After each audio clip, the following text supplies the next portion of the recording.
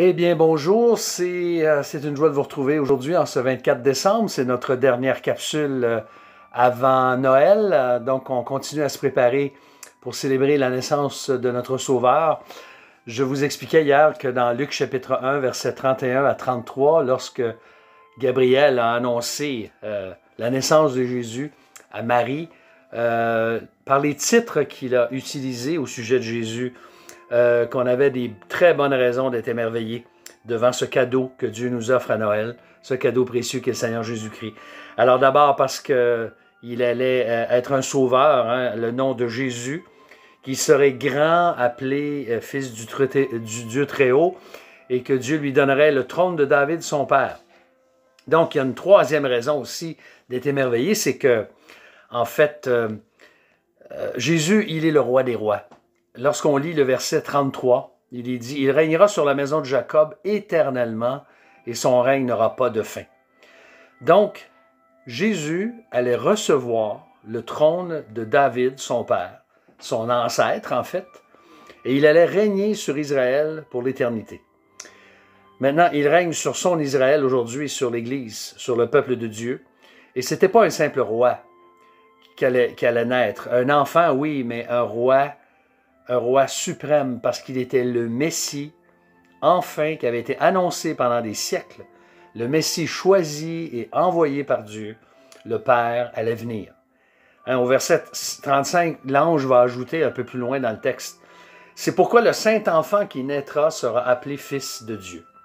Donc, dans cette crèche, il y a 2000 ans, allait naître un sauveur, Dieu lui-même, et celui dont le règne est éternel, le Fils de Dieu. Frères et sœurs, chers amis, c'est ça qui devrait nous émerveiller à Noël. C'est ça qui devrait nous, nous, euh, nous encourager, nous, nous, nous rappeler la bonté de Dieu. Alors que cette année, on sait que Noël, c'est bien différent des autres années. Peut-être pas pour certains, euh, certains qui sont malades ou qui étaient déjà confinés involontairement. Il n'y a pas un gros, gros changement, mais pour tous ceux qui ne peuvent pas être avec leur famille, ceux qui sont seuls, ceux qui sont malades aussi, nous voulons euh, avoir une, prière et une pensée spéciale pour eux.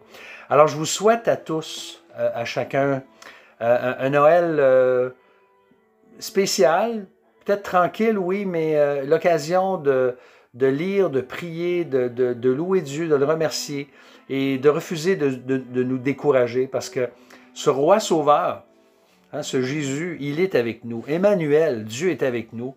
Il s'occupe de nous. Il prend soin de nous. Il ne nous a pas abandonnés malgré tout ce qui peut arriver. Et c'est une grâce de savoir que le Seigneur euh, nous encourage, nous fortifie, nous, donne une espérance. Hein. ce, Jésus va revenir. Ce roi des rois va revenir. Nous l'attendons du ciel. Et un jour, il sera avec nous. Nous allons le voir face à face. Et nous pourrons partager euh, l'éternité avec où il n'y aura plus ni douleur, ni larmes, ni pandémie, c'est pas écrit dans le texte, mais on le sait, ni euh, confinement et ni toutes les autres choses qui vont avec. Alors, j'aimerais vous souhaiter euh, mes meilleurs voeux au nom de mon épouse, ma famille, euh, à, chacun d'entre vous, que, que, Dieu puisse vous faire du bien, vous encourager, vous fortifier et vous bénir en ce Noël 2020. Nous allons nous retrouver après le temps des fêtes. Alors avant, j'aimerais prier, si vous voulez, pour conclure.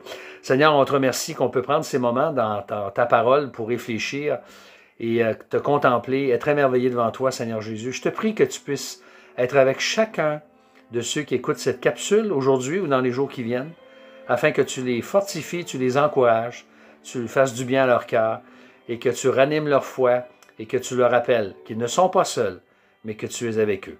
Alors Seigneur, sois béni, que ton nom soit glorifié que ta volonté soit faite.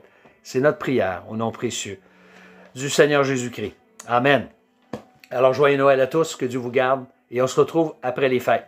Bonne, bonne journée et bon 24 décembre.